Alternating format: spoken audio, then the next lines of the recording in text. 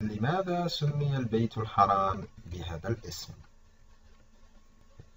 يعد البيت الحرام أول بيت وضع في الأرض للقيام بعبادة الله تعالى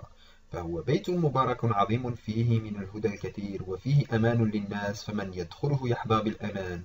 ومن أسمائه البيت الحرام والبيت العتيق والبيت المعمور والكعبة والحرم المكي وغيرهم من الأسماء إن تسمية المسجد حرام الذي يقع في مكة المكرمة بهذا الاسم يعود لسبب هام وهو أن الله تعالى حرم فيها القتال وسفك الدماء ونفر الصيد والتعرض للأشجار بالإيذاء والتلف والإضرار بها فهي محرمة إلى يوم القيامة ولا يجوز التقاط اللقطة إلا من قبل من يعرفها ويعلم بها وقال رسول الله صلى الله عليه وسلم يوم فتح مكة إن هذا البلد حرام حرمه الله لم يحل فيه القتل لأحد قبلي وأحل لي ساعة فهو حرام بحرمتي. الله إلى يوم القيامة لا ينفر صيده ولا يعضد شوكه ولا تلتقط لقطته إلا من عرفها ولا يختلى خلاه. فقال العباس يا رسول الله